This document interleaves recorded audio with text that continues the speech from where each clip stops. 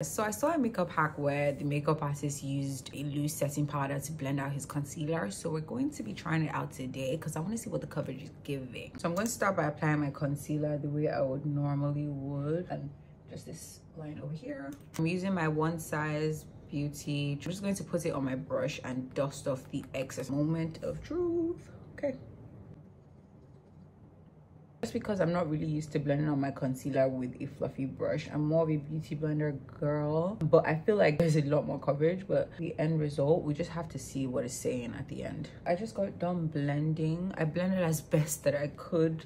Um it feels like the consistency is a bit more thick but i would honestly just stick to my usual routine. I don't think i'll be doing this. I'm just going to finish up the complete makeup look so we can see what the end result is giving. So for this side i'm going to do my usual concealer blending out with my beauty blender.